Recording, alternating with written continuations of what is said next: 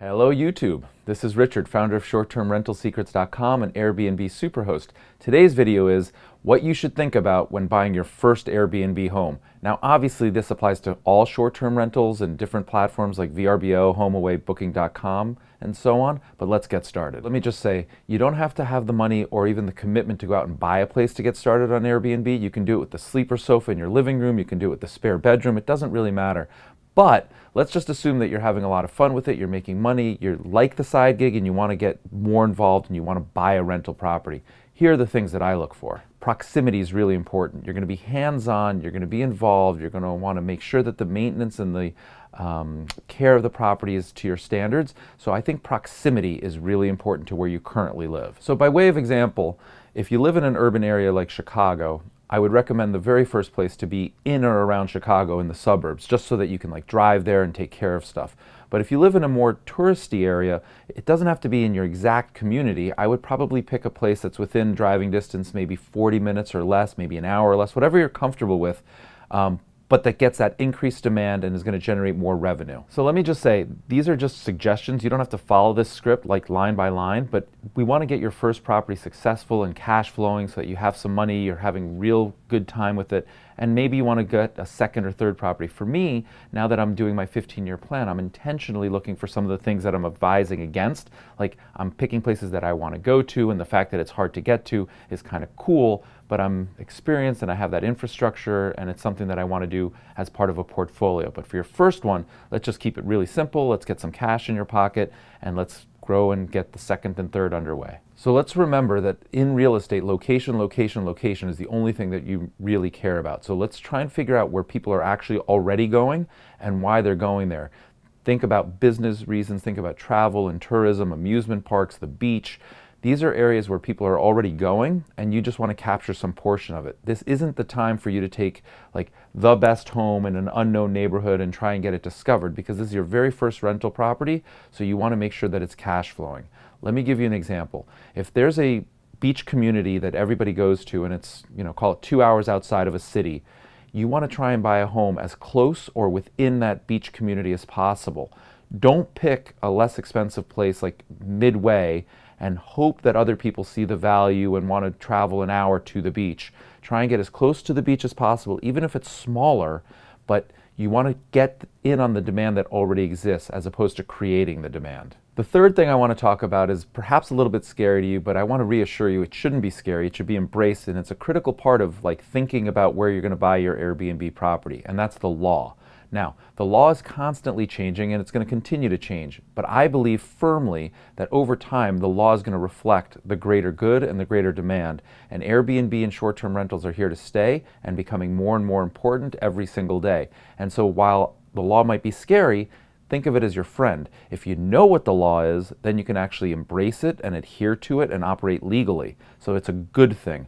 Now, when you're thinking about your property, especially your very first one, you want to be really caught up to what the laws are. I recommend you use a Google search and just put Airbnb laws in the name of your community or the city or whatever.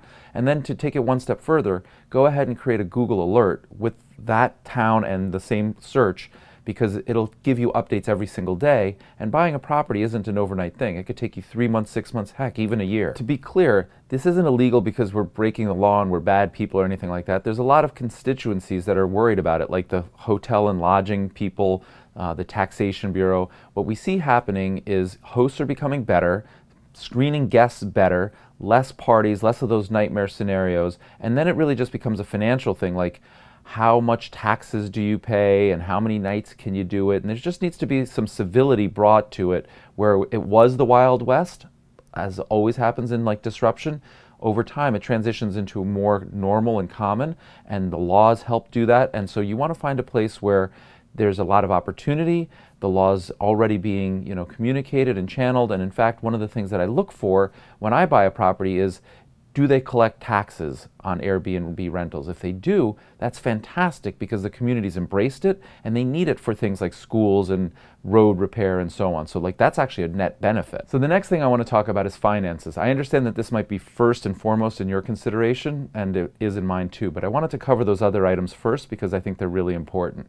But turning to finance, look, obviously you know what your finances are, you know what you can afford, um, you know what's prudent. There's all sorts of online calculators to help you work through some of that.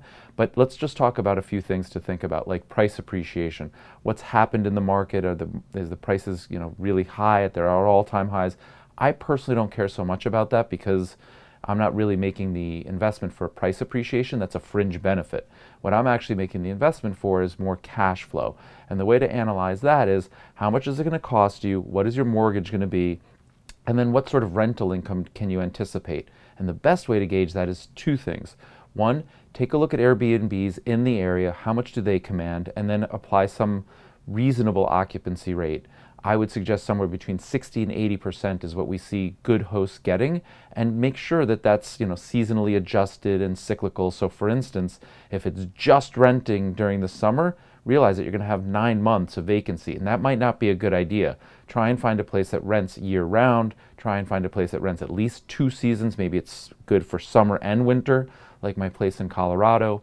Um, but try and take a look at what it's going to generate in terms of income and assume a 60 to 80% occupancy rate, and that'll give you one idea.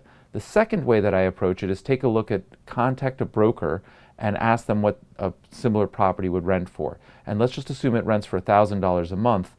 The framework that I use generates about two to three times that long-term rental. So you can anticipate about two to three thousand dollars a month in rental income using that example. So another consideration is infrastructure. You want to make sure that property you're buying has like services and conveniences around it because while I said earlier that you may be willing to drive an hour to go and check in on the place and so on to get to that like beach community, um, if that beach community is really desolate or only accessible by ferry or something that makes it really cool but really challenging, realize that it's going to be really difficult for you to get maids there, plumbers there.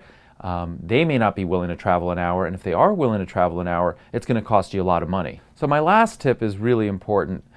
It needs to fit into your lifestyle. It needs to be part of your vision. In short, it needs to be part of your why. And so let me give you a very personal example. About 20 years or so ago, I bought a real estate property that I thought was really interesting from a financial perspective. I thought the neighborhood was up and coming.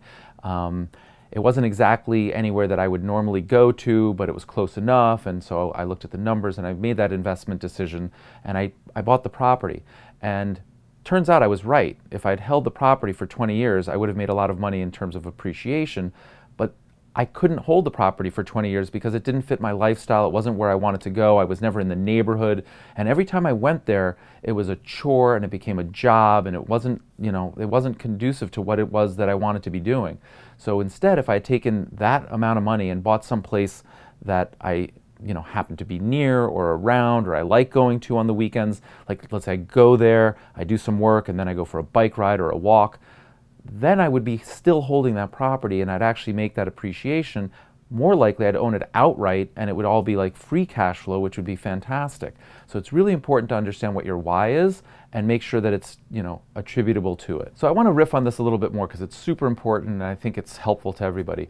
You really have to understand what it is that you're doing and why you're doing it because that gives you the, the persistence and the capability to like endure and persevere. And so let's just use this YouTube channel as an example. I really believe in Airbnb. I really believe in my 15 year plan. It's changing my life and I want to help other people and like change other people's lives. So if I have some ability to give a little bit of tips and education, I love doing it. And the feedback that we're getting now is really encouraging and rewarding, and like that's what keeps us going. But by way of example, you know, the first five months that we did this YouTube channel, we didn't even have 100 subscribers. And those were dark and lonely and quiet days, and you sit there and you say, like, what am I doing and why? But the reality of it is I believed in it, so I kept doing it. And then, if you take a look at the more recent results, in just the last couple of months, we've gone from that 0 to 105 months to 100 to almost a 1,000 in what, like two months? In two months. And I think we're just getting started, right? If you take a look at some of the comments, people are suggesting we should have 10,000 subscribers, and I'm sure that's to come. But however long that takes is okay because this fits my why.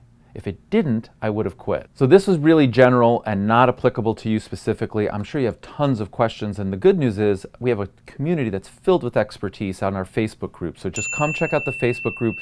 The link is in the description below. We'd love to have you over there. Please like the video if you found it helpful, leave comments and feedback, but most importantly, if you haven't subscribed to the channel, do it. Thanks so very much. Have a great day.